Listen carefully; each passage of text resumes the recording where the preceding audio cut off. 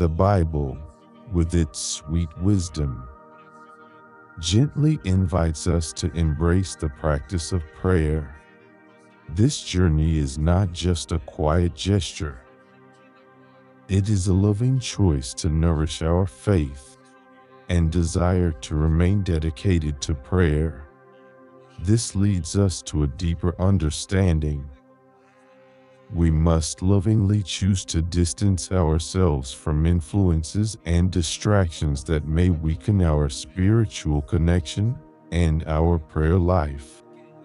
In the comforting words of Psalm 17 6, we find a reflection of this truth. I call to you, my God for I know you will hear me. Turn your ear to me and listen to my prayer.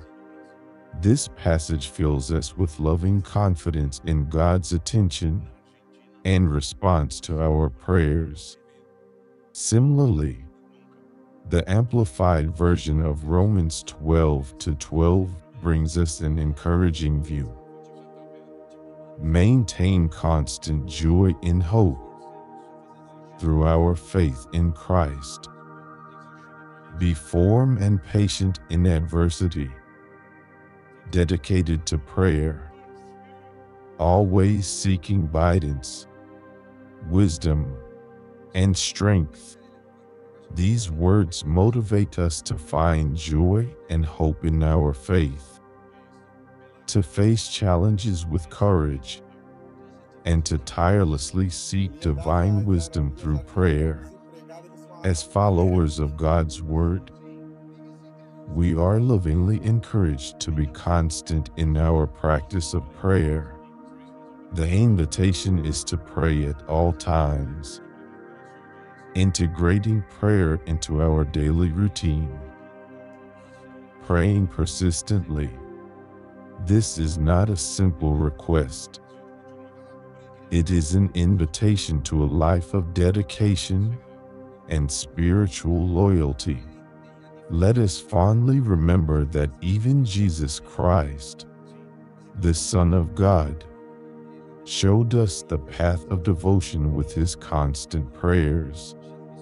If he, in his divine and human nature, sought communion with the Father through prayer, how much more should we, in our own spiritual journey, follow his blessed footsteps? At this moment, my heart is filled with tenderness, thinking of those among us you wish to intensify their prayer life.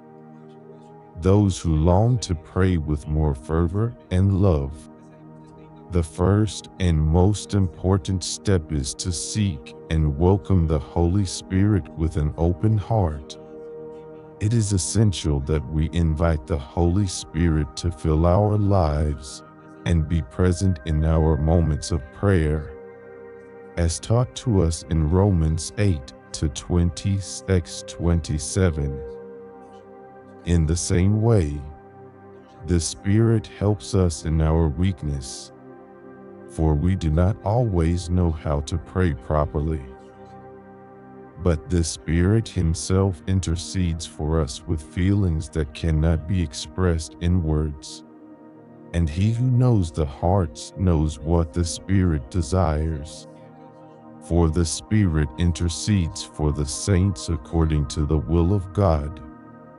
This is an invitation to a richer and deeper life of prayer blessed by the constant presence of the Holy Spirit.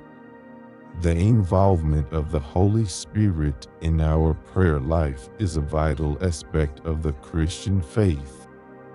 He is our support in weaknesses, the one who intercedes when we are lost for words, and gives us the strength to pray, even when it seems hard.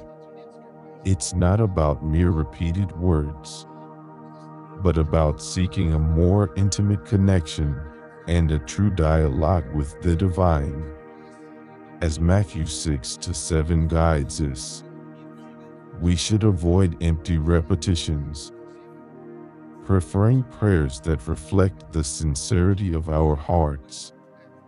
For God values genuineness more than the multitude of words.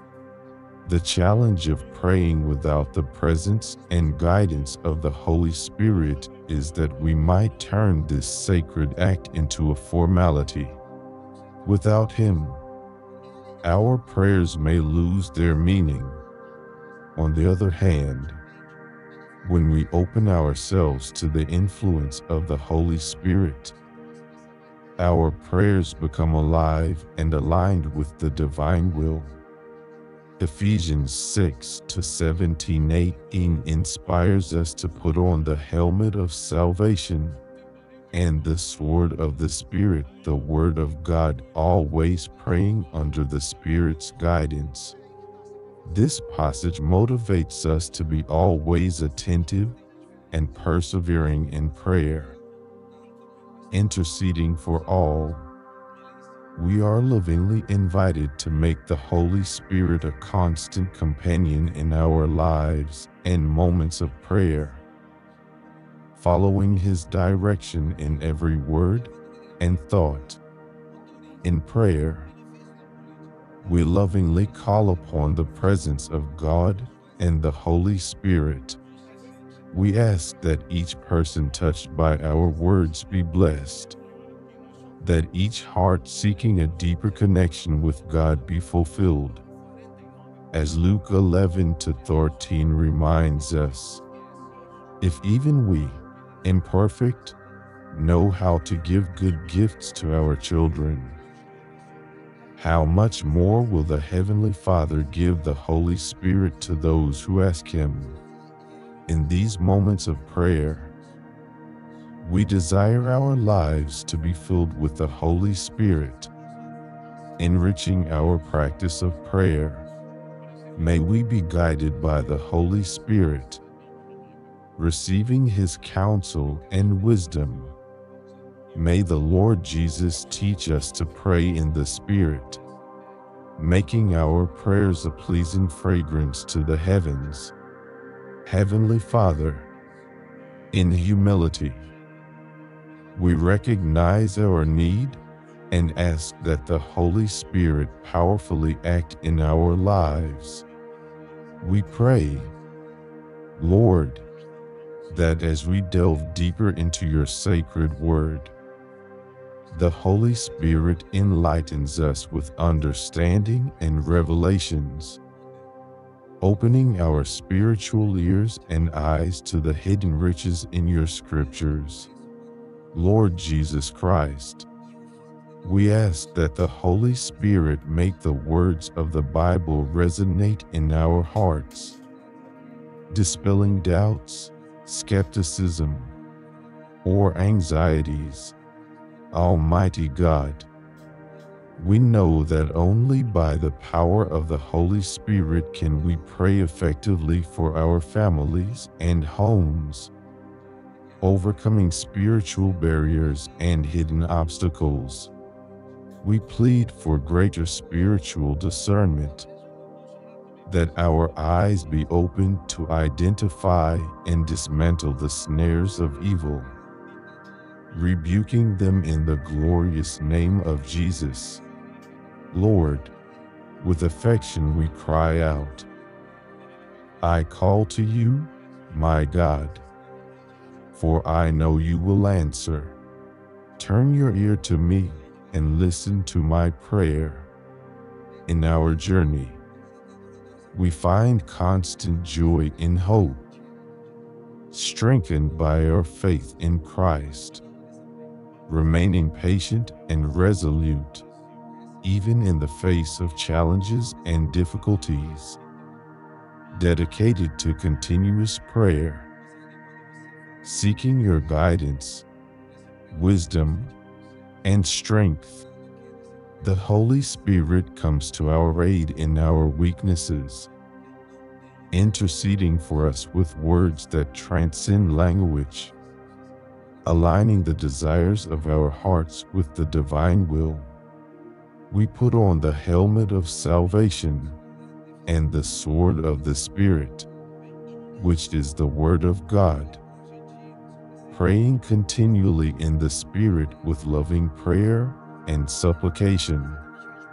We remain vigilant, persevering in intercession for all. We choose to set aside drunkenness and excesses, opting to be filled with the Spirit. We express our worship and gratitude through psalms, hymns, and spiritual songs, singing and praising the Lord with all our hearts, always giving thanks to God the Father for all things. In the name of our Savior and Lord, Jesus Christ.